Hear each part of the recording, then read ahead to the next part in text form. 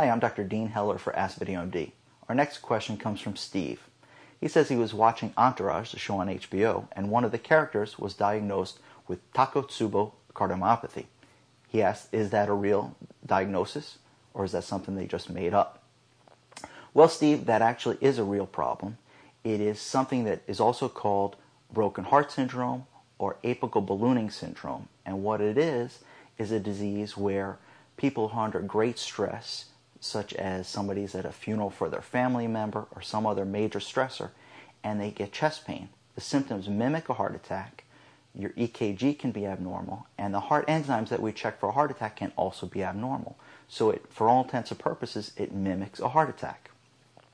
When we do a heart catheterization on that person, we find that the coronary arteries are completely normal.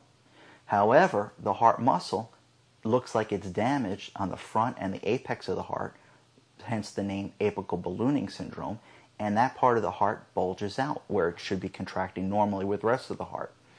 So it is a real phenomenon.